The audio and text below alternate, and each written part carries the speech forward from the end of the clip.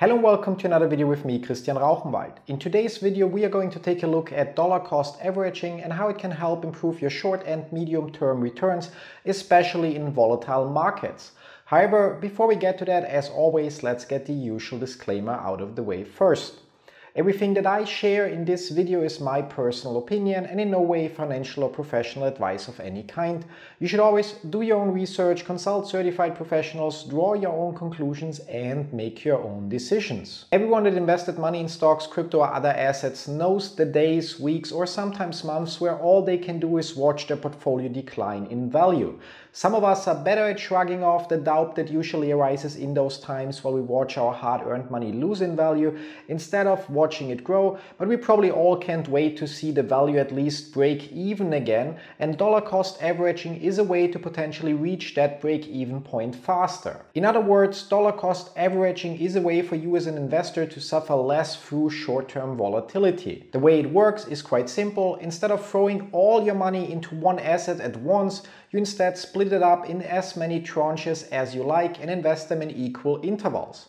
For example, instead of investing 10,000 US dollars at once into one stock, you instead invest $1,000 every month for a period of 10 months. Sure, if that stock's price soars just after you made the first investment, you'd miss out on some gains on your remaining $9,000, but more often than not, you won't know for sure if that's going to happen, and then investing in tranches allows you to also buy some shares during dips to receive overall more shares in total. To illustrate this better, we can look at the following graphic. Here you can see on top a one-time $8,000 investment into an asset that costs $10 per unit, getting the investor 800 units in total.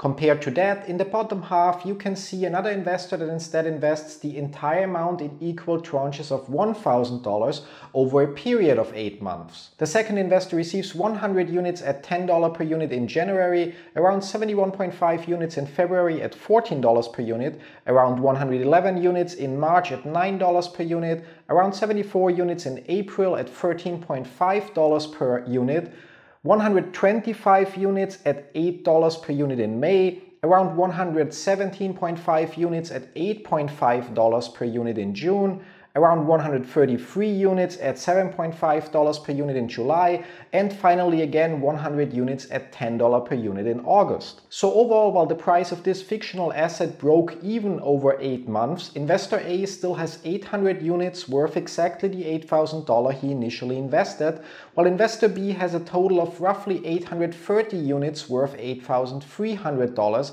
and is actually looking at a small profit. Dollar cost averaging in this case was the better decision because it reduced the average buy-in price for the second investor. And while that is great, dollar cost averaging doesn't work in all situations or at least not that well.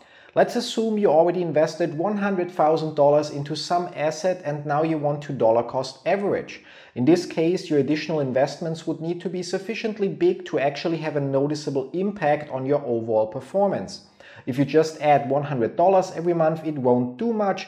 But on the other hand, not everyone can afford to add another $1,000, $5,000 or even $10,000 per month to their portfolio to actually have that impact. Still, dollar cost averaging is one of the fundamentals new investors should know about and understand to reduce the potential impact of bad decisions during the first couple of months or years as an investor. And it also works if you are, for example, copying portfolios of other investors like mine on platforms like eToro. There, instead of using one big lump sum to copy a portfolio you believe might perform well in the future, starting smaller and adding funds to your copy over a period of 6 to 12 months reduces the impact of short-term variance and also protects at least some of your capital from going down the drain if the investor you're copying suddenly doesn't perform that well anymore. Taking my portfolio at eToro for example with a return of 24.33% year to date at the time of recording this video, you can see that while I had months with more than 10% in profit, I also suffered my biggest loss this year with a drawdown of almost 14% in July.